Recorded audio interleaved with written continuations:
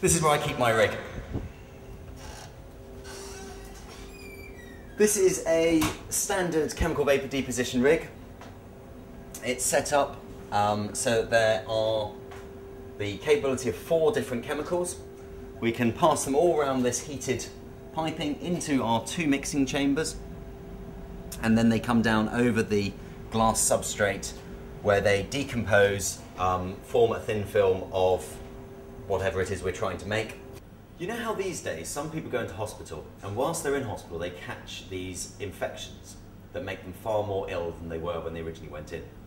Well, these hospital acquired infections are a major problem for uh, modern day healthcare. What I do is I'm investigating different functional materials that can help stop the spread of bacteria in hospitals in an attempt to try and stop these healthcare associated infections.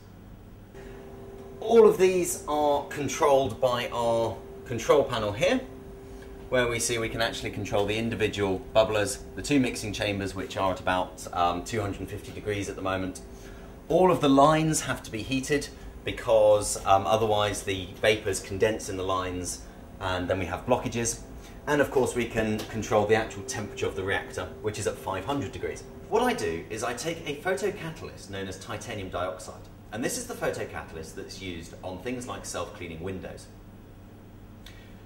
And I can adapt it chemically to make it better. The problem with, with titanium dioxide is that it absorbs ultraviolet light and therefore needs to be outside. Now this is fine if you're a self-cleaning window, but inside there isn't enough ultraviolet light for them to function properly. So what I do is I take a atom, or I take atoms of nitrogen and sulfur, incorporate them into the titanium dioxide framework, and I can shift the electronic properties of the material to make it absorb lower energy light, hence the visible light rather than the ultraviolet light. So we're going to use titanium chloride as a titanium source, ethyl acetate for a oxygen source to make the titanium oxide, and then on this side we have um, carbon disulfide, which is a very good sulfur source.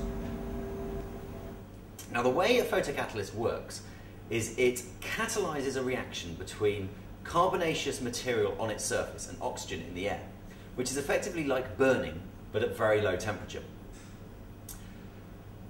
On an atomic scale, bacteria really is just a bunch of carbon atoms. So the photocatalyst will actually work by simply oxidizing or burning the carbon atoms into carbon dioxide, thus killing the bacteria. The idea behind this technology is to coat hand-touch surfaces, things like door handles, tap handles and loo flush handles. Potentially even the walls themselves in the form of paint can be coated with these materials and um, reduce the amount of bacterial spread from people touching them. Okay, let's actually put a deposition down. So we turn each of these on and we've now got all three gases coming down.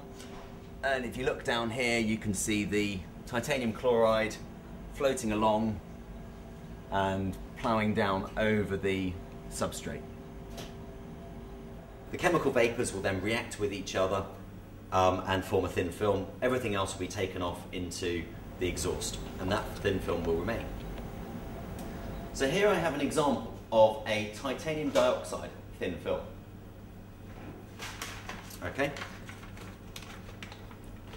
So this is a standard piece of glass with a titanium oxide thin film. You'll see a very slight rainbow effect, and that's actually due to the thickness, not the colour of the film. The film itself is colourless. But that is a titanium dioxide film. We can now look at what happens if you incorporate a bit of nitrogen so a very small amount of nitrogen goes into the film, and you notice there's actually a yellow colour. Now the yellow colour is actually due to the nitrogen atoms inside the TiO2 changing the electrical properties and moving the energy of the absorbed light from the ultraviolet into the top end of the visible spectrum.